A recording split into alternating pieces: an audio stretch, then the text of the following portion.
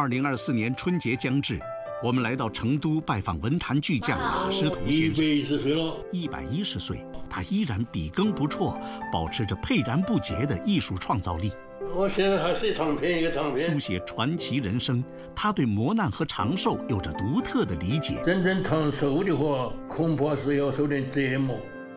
箴言、体悟、哲思，让我们跟随马识途先生开启新春的艺术之旅。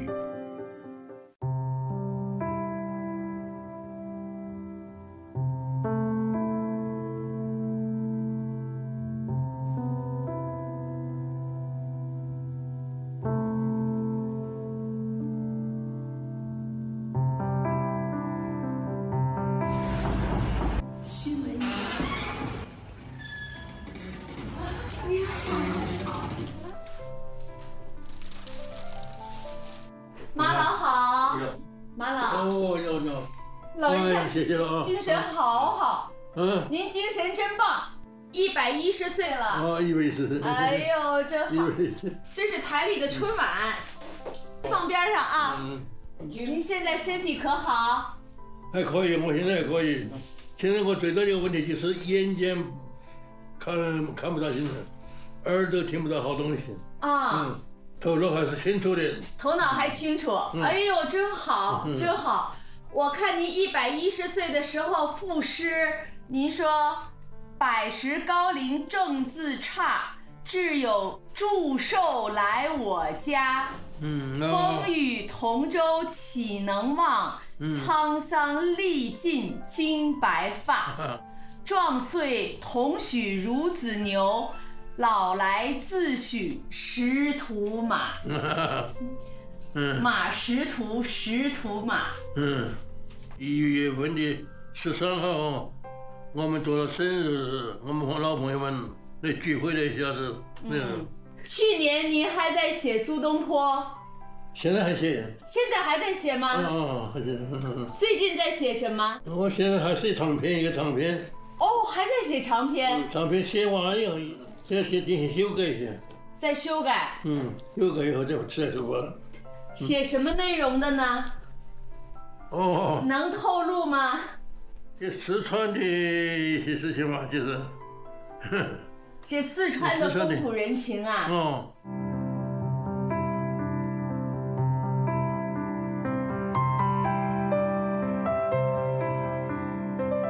马识途原名马千木，甲寅年腊月初三出生于重庆忠县，当代作家。一九三八年加入中国共产党，一九四五年毕业于西南联合大学中文系。一九三五年开始发表文学作品，一九六一年加入中国作家协会，著有《清江壮歌》《夜谈实记》《夜谈续记》《在地下》《找红军》《马识途讽刺小说集》《那样的时代那样的人》《马识途西南联大甲骨文笔记》等。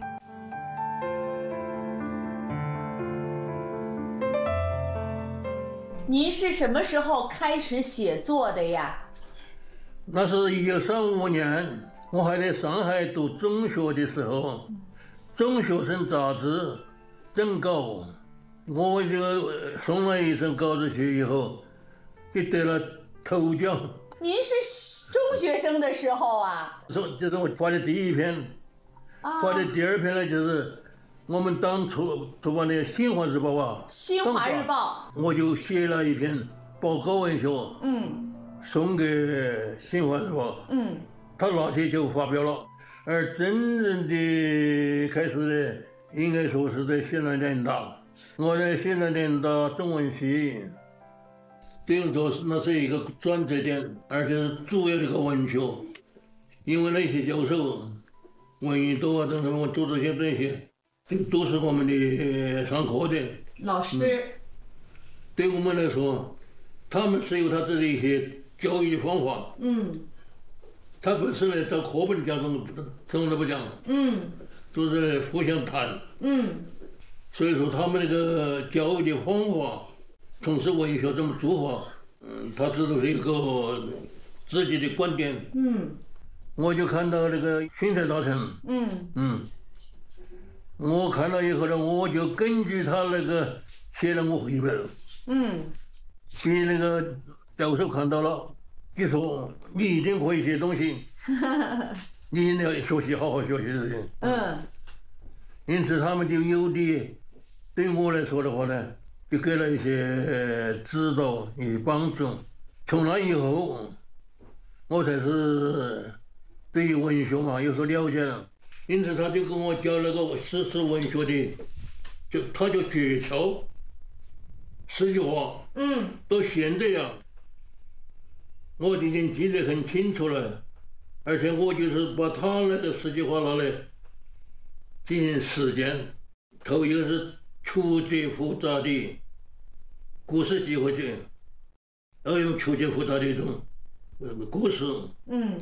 情节，嗯。嗯。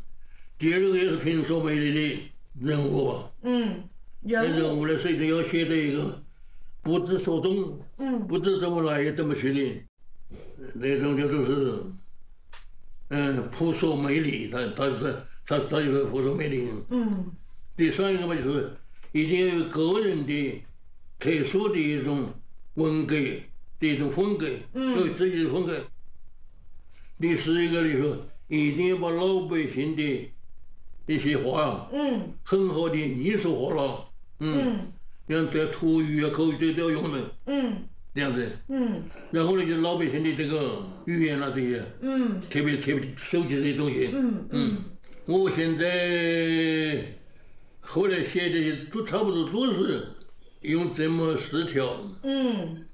来作为我的一种指导的，而这呢就取得于西南联大的教授，嗯，所以我现在一直不忘记他们，但是我因为一参加革命以后就全身的在革命，没有功夫来写东西。嗯嗯。我是一直到我那个爱人牺牲以后，大家要我写一本书嘞，写叫《清江壮歌》。清江壮歌这个东西，嗯，嗯。那么是头头一本，那写了以后我又放起来了，又又放起来了，就一直拉到一九五九年，嗯。六零年的那个主编，这个他让我写一篇文文章，我就写了一篇讽刺文章，叫《最有办法的人》。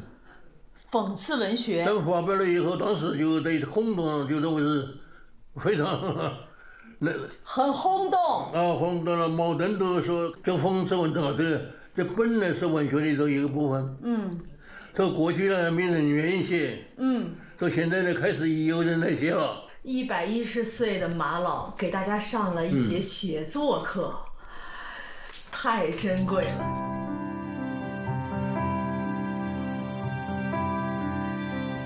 您觉得写作的目的是什么呢？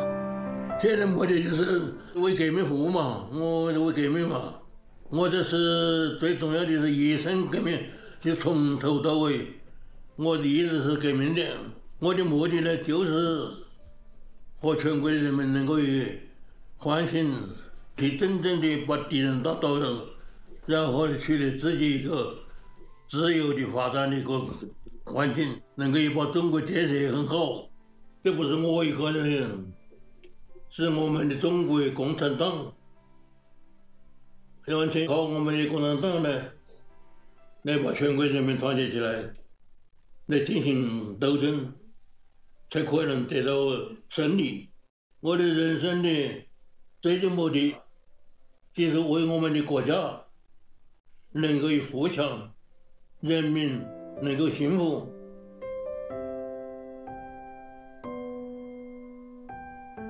我的原的名字叫马千木，嗯入了党的时候呢，我就自己改名叫马识途。嗯我认为我已经走到了，找到了我这个人生的道路了，要一辈子干革命。这个对我来说呢是关系很大的，所以我可以自己说，我是终身革命军。所以我的党龄是多少呢？我的人岁呢是一百一十岁，嗯当年是八十四岁。八十六了。能够达到八十四岁的党员呢，恐怕现在不多了。我看过您写过一句话，您说人民可以忘记我，但我永远不会忘记人民。是的，这是我的书一本书的这个封面上，我在上面写了一下，就是，嗯，嗯，人民会忘记我，但是我不能忘记人民。二零二一年十月，四川人民出版社出版了马识途先生历时三年完成的著作《马识途西南联大甲骨文笔记》。撰写这本书时，他将自己近八十年的古文字学研究成果悉数奉献，更结合了先师唐兰在西南联大任教时的笔记精髓。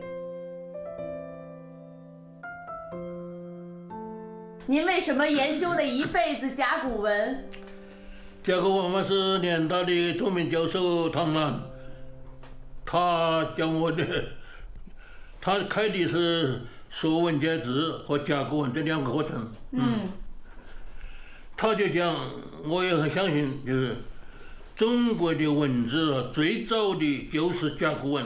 嗯甲骨文呢，实际上就是中国文字的一个最早的一个文字。嗯所以从甲骨文出来以后，后面的所有这些各种各样的文字嘛，政治的，嗯都是从它的根根上了发下来的。嗯所以说甲骨文呢非常重要。这个老教授呢就讲这个讲道理，嗯因此就引起我们的这个很大虽然困难，嗯呃有兴趣，很有兴趣。嗯所以说我们对甲骨文呢有兴趣的是和中国文字的这个发源，嗯从这个角度来学这个甲骨文的。嗯嗯，所以认得认得那么几百个甲骨文的呀。嗯但是不能够成为一种写文章都不行了，就认得他就是了。您一百零九岁的时候还在写苏东坡，说东坡一生在路上，你也一生在路上。苏东坡一个一生的这遭遇啊，很多，他一辈子都是在走路。所谓走路呢，就是各种的折磨。所以说，这是我很敬佩的一个中国的作家。所以，我就用古言也是来写一个走苏东坡的，这个是走路了，就是长路行，还放在这了，我还没发表一个诗，嗯，大概有二百多句。东坡长路行。嗯，哇，这个太珍贵了，这还没发表。这就是我写的诗的吧？哦，天哪！这是您的文稿。嗯，行行重行行，长路长且阻，文人多求官，奔进在仕途。李白行路难，自言在歧途。杜甫生乱世，一生流亡苦。东坡亦有言，一生在走路。何故出此言？请为 君细述。前面才是正文，哦，这才是正文。正都是正文，对。这是里边哇，二百多句啊！哇，杨慎，杨慎，您还喜欢。杨慎嗯？我写了苏东坡以后，后来我又写了杨震。杨震他的遭遇啊，和苏东坡的很相像。杨震也是走路，一辈子走路。一辈子走路，杨慎和东坡一辈子走路。您也是啊，您也是一辈子在行走啊。嗯嗯，我写这个两个人呢，是有些联想的。嗯，嗯，什么联想啊？在不同的环境里头，都是都曾经遭受过许多折磨。他们的折磨就没有好结果，我折磨呢，我就变成坚强起来，对革命做了贡献了。可他们不一样了。我觉得一个人要真正长寿的话，恐怕是要受点折磨。我这个受折磨就就使不准长寿了，变得坚强起来了，就是嗯。您长寿的秘诀是什么呢？一个达观，一个运动。我的习惯了是达观的习惯了就，因此其他的方面呢都可以，不管遇到什么事情了，都一次处置不当一回事。嗯，运动是我每天早上几十年了。每天早上，我就在在我的屋里，在外面两次体操，嗯，一次头部运动，一回身体运动，啊软软体操。啊，这两个运动，每天早上五点钟起来以后，我就必须要进行。这个对于我来说，几十年没有断，这个对我来说起了很大的作用。嗯所以我跟你说要运动，嗯，嗯，我想我现在我要不要运动，你不运动啊就不行了，嗯，运动，嗯，是一个人出事情的大官，不要那么一天斤斤计较了。嗯，您对年轻人有什么建议？要建议啊，年轻人呢，要除开精神状况以后呢，也要身体健康啊。他们老在说，青年人要创要实现自己，我说要实现自己呢，要实现中国变得强盛啊，那你实现你的自己了。嗯，一个人家是一天到晚想的就是如何自己，嗯、发财呀，升得官啦，讲的这些东西，大概很难长寿。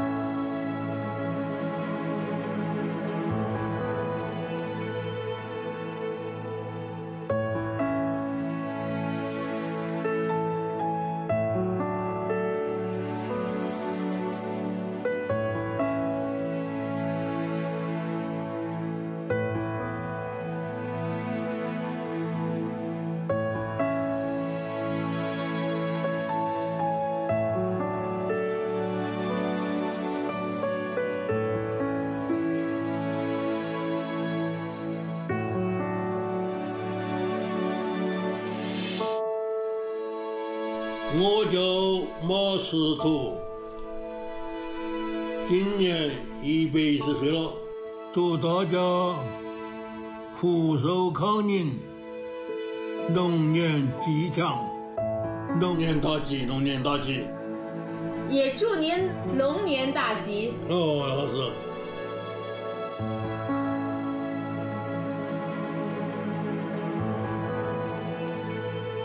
您最喜欢的梅花就在您的窗外是吧？嗯，结花苞了，这个还没来，在窗外就是梅花梅花是。我最喜欢的一个。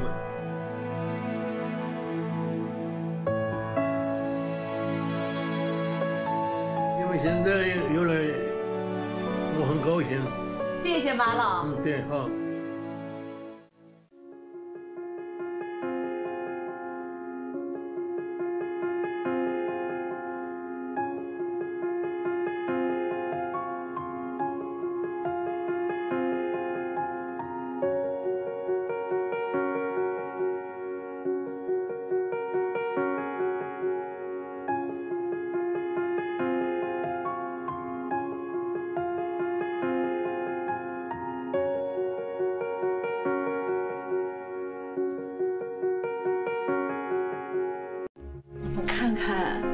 先生的书架。